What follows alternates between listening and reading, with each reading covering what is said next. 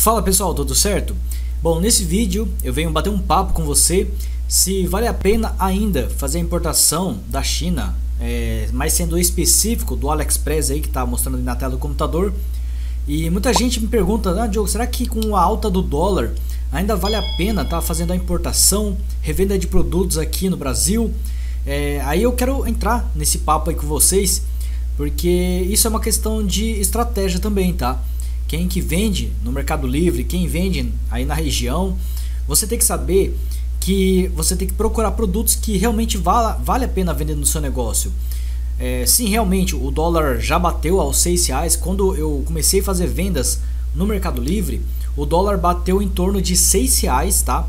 É, tava bem caro mesmo. Só que assim, aquele negócio, pessoal, é, a minha empresa continua, as vendas estão aí, né? E eu preciso vender, eu preciso ganhar dinheiro, né? Porque, né? Eu tenho o meu, meu próprio negócio.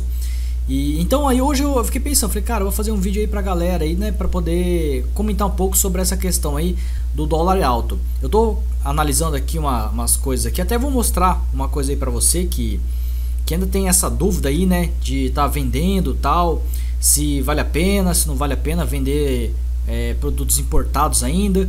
Eu vou, eu vou mostrar aqui um negócio para você, as métricas do, do meu negócio. É, eu vou deixar do mês passado, tá? Para vocês aqui, ó. O mês passado eu tive uma pequena queda na, no faturamento da, da empresa, né? Ó.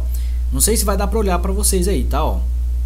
Eu não sei se vai dar para bater, mas ó lá, ó, deu 8 mil é, e 21 reais. E agora eu vou mostrar também no outro Ó, vou mostrar aqui pra você, tá pessoal? Tô aqui, ó, clicando aqui. Deixa eu entrar aqui, ó. No meu negócio. Métricas. Aí vou alterar aqui último mês. Tá?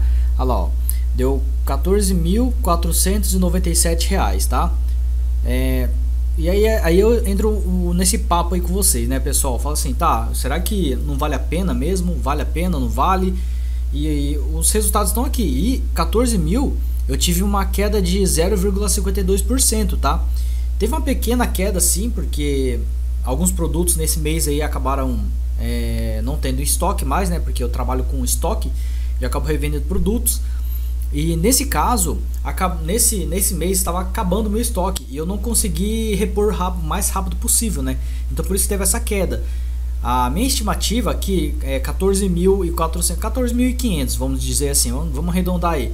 Mais 8 mil, vamos ver, 8 mil reais, é, 8 mil reais, 14 mais, e 500, mais 8 mil, 14, 15, 16, 17, 18, 19, 20, 21, 20, 22.500 reais aí faturado no Mercado Livre, né? Fora também, isso é só no Mercado Livre, tá pessoal? Fora as vendas que eu faço aqui na região, né? Eu tenho a minha empresa também, eu tenho outros, outros negócios também que eu faço, né, na internet.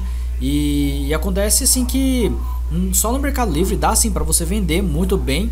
Né? Olha, eu, eu sempre gravo o vídeo e acaba passando esse bendito carro de pamonha. O cara nunca passa aqui. Agora fala, vou gravar um vídeo, acaba passando também. Mas enfim, é, é sempre assim. Então, pessoal, é, o dólar no mês passado estava muito alto, muito alto mesmo, e eu consegui vender muito. Ah, Diogo, daí você pode falar, ah, Diogo, mas era estoque do, do mês passado. Tá, pode até ser, mas ainda hoje eu consigo fazer vendas. Até mesmo vou, de, vou puxar aqui, ó, um extrato aqui para vocês. É, deixa eu verificar aqui. Hoje é dia 5, né? Na verdade, vou puxar aqui a, as métricas, na verdade, de, de 7 dias, tá? Tira aí um pouquinho do, do valor, tá? Mas 7 dias também tá bom. 7 dias também nesse aqui. Olha só, é, nos últimos sete dias, em uma conta, eu fiz, ó. Deixa eu até alterar aqui pra vocês, eu não sei se vai conseguir ver, tá pessoal? Não tô aqui com a tela aqui. Ó, esse aqui, ó, foi de 15 dias, agora vou clicar aqui de 7 dias. Isso é uma conta. 3.046. Aí, nesse, nesse, né, nesse mês está tendo uma alta, tá? Eu vendi mais do que o mês passado. E aí, ó, alterar aqui também. Eu não faço dropshipping, tá, pessoal? Lembrando que eu não faço dropshipping. Então, muita, muita gente fala, ah, mas você faz dropship. Não é verdade. Aí, ó, últimos 15 dias eu vou alterar novamente para os 7 dias. Aí, ó, 1.454 e reais. Ele caiu 28%, né? Teve uma queda. Porém, eu continuo, continuo vendendo muito. Hoje já tive, já tive algumas vendas aí também no Mercado Livre e acabei atendendo os clientes. Então é o seguinte, pessoal, é, essa questão de do dólar, tem gente aí que acha problema em tudo, fala, ah, nossa, Diogo, eu não vou começar porque o dólar tá muito alto. Cara, tá alto. Só que esses dias atrás eu estava dando uma mentoria para uma pessoa e falou assim, cara, mas a, o dólar tá alto tal, mas tá, apesar do dólar estando alto, existe mercado ainda. O mercado tá aí. Então imagina um produto aí que ninguém quer comprar, só você está vendendo. Você vende o seu valor, vende o valor com seu lucro e tudo mais e você consegue vender, tá? É, teve produtos que eu pagava 280 reais mais ou menos e hoje eu, pa, hoje eu paguei 200, na verdade paga 240 ou 200 reais por aí. E hoje eu pago 300 e poucos reais aí. Então aumentou muito só que eu vendo ele por 600 e poucos reais. Tipo assim, é 100% aí de lucro aí, claro que tem as taxas aí, e cai em torno de quase 50%, mas 50% na, no Mercado Livre vale muito a pena, pessoal. Não tem comparação você ficar é, vendendo produtos é, no, no, Mercado Livre tendo um lucro aí de 10%, tem gente que tem esse lucro. Tá errado? É a média no Mercado Livre, tá? Se você quer vender no Mercado Livre, já tenha em mente que você não, não vai vender com alto lucro. Pode ter produtos que você consiga vender com um lucro de 100%, 200%, 300%. Pessoal, até que pode, assim, sabe? Tem, não tem esse problema aí você vender produtos com lucro alto. Vai depender do que você vai achar, né? Por exemplo, aqui ó, na, na minha tela, eu vou, vou descer aqui, ó, vamos ver. Vamos analisar um produto aí que, que dá para vender aqui no Brasil. Ó, a, a época de, de máscara já passou, tá? Não, não tem esse negócio mais. As pessoas estão fazendo máscara em casa. Vamos verificar aqui, ó. Esse negócio de amacetar aqui alho é legal. Mas não sei se eu trabalharia com ele. Olha que engraçados aqui, ó, também, ó. É um produto meio besta, mas, né? Mas tem gente que compra, mas enfim. Então, assim, se você analisar certinho é, os produtos, ó que legal esse aqui é um produto diferenciado, ó. Vamos verificar aqui, ó. Isso aqui é um spot muito legal assim também, ó. Ele é, ele é direcional. Se eu não me engano, ele dá pra colocar na parede. Olha só. É esses daqui, ó. Direcionáveis tá bom? Na madeira. Parece que ele é prova d'água também. Olha só que legal. Então esse aqui é um produto, digamos, premium, porque quem compra um produto desse daí ou está fazendo sua casa, ou tem algum é, alguma construção para ser feita e compra para poder revender ou para fazer uma construção ou quem está construindo sua casa. Né? Então esse aqui é um produto legal que você pode analisar e vender Deixa eu verificar aqui uns outros produtos interessantes para você começar a vender na internet também. Vamos analisar aqui, pessoal. Pera aí. Deixa eu tomar aqui uma água aqui.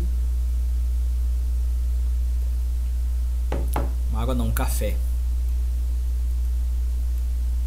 Ó, esse produto aqui é interessante até, ó, porque ele ele cutuca a orelha, só que ele tem esse, não sei o que isso aqui é um parafuso, sei lá, na ponta e aí, não parafuso, né? Claro que ele é meio flexível. Ele tira o, os negócios da, da orelha. Aí você vai rodando.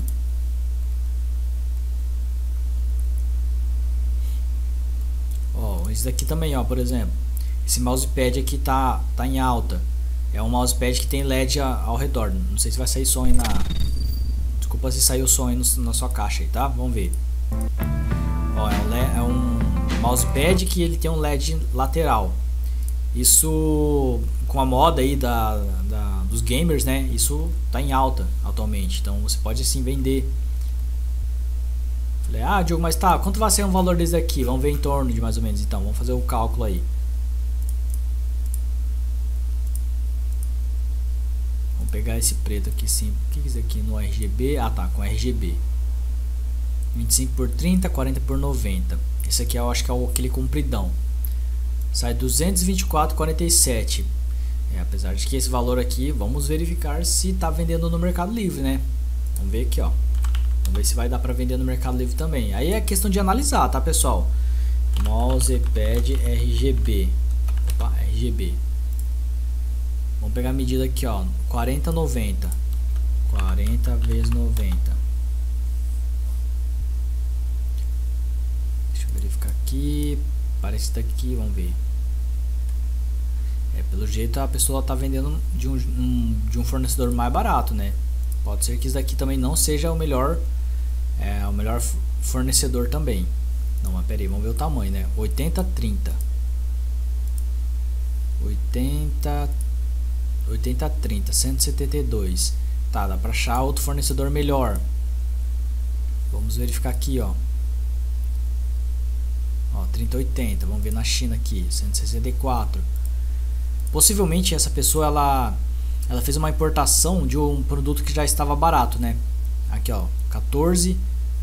Mas eu vou pesquisar ainda aqui algum produto aqui que pelo menos possa estar ver, ó, vamos lá. Mousepad RGB. Vamos analisar, pessoal. É o negócio para você vender na internet é assim mesmo, tá? Você tem que ir analisando as, as a concorrência para ver se se vale a pena vender na internet tal produto. Normalmente 80 a 30, tá? Então 800 por 30 por, por 300. Olha lá, 102. Já baixou um pouco. RGB. Ah, 80 a 30. 169. 80 a 30, 91. Aí, esse aqui já é um pouco diferenciado, ó. ó já são 91 reais. Vamos levar em consideração, pessoal, ó. Vou fazer o cálculo novamente aqui com vocês. Eu gosto de fazer o cálculo, tá, pessoal? Porque quem não gosta de, de ver essa, esse meu cálculo aí, né? Pode pular aí, mas é interessante. É, para você entender como você tem o lucro no Mercado Livre, tá? Então, 160, vamos arredondar aí, ó, tá, ó. 159,99, 160 vezes 16%. Vamos ver se ele está vendendo no no sem juros, né? Olha lá, parece que ele não está vendendo, então é 11%, olha lá, 160 vezes 11%, 17,60. Né? 17,60 mais, vamos ver aqui ó, o valor que a gente viu aqui, 102, não, é de 91,99 mais 91,99 ah, 92, vamos arredondar para 92 92 dá 109,60 mais dois reais aí do, do custo de pacote, né? que você vai ter, da embalagem, da etc. Menos 160, menos 160, 48 e 40. 48 e 40 vezes o número de vendas que ele fez, 1422. 1422. O cara só teve 68.824,80 de lucro apenas vendendo esse mousepad 80 por 30. E eu mostrei aqui para você, ó. Esse aqui, ó, é o mesmo mousepad, pessoal, tá? E se você não quer pagar mais frete, você pode negociar aqui, ó. Às vezes você pode ver aqui aumento ou conversa com, com o fornecedor lá na China, enfim. Você vê o que dá para ser feito. Então, pessoal, é o seguinte, dá para vender no Mercado Livre ainda? Mostrei aqui exatamente um produto que dá para vender no Mercado Livre, se vale a pena ou não vale. Aí já vai da sua, né, da sua balança aí, fala assim, ah, colocando a balança não vale a pena, tal. Mas eu mostrei, é, eu coloquei para você em um produto a pessoa teve mais de 68 mil reais de lucro líquido. Eu calculei aqui na sua frente, lucro líquido, tá? Então, na minha opinião, na minha sincera opinião, vale muito a pena sim vender no Mercado Livre. Tá? É, basta você fazer uma análise de mercado, você analisa co como estou fazendo. Ó, por exemplo, eu nem sei quanto tempo eu, eu gastei aqui para gravar esse, esse vídeo, vamos ver. É, 14 minutos. Eu gravei 14 minutos de vídeo, na verdade foi menos de, de 14 minutos que eu analisei um produto, tá? E realmente valeu muito a pena, tá? É, você achar um produto aí, às vezes se você mesmo quer trabalhar com isso, aí ó, tem um produto aí para você importar no AliExpress e começar a revender, tá bom?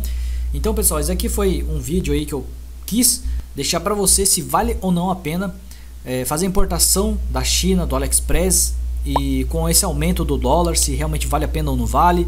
E eu provei para você que vale a pena sim, beleza? Bom, então eu fico por aqui, espero que eu tenha ajudado você. Um forte abraço e fui!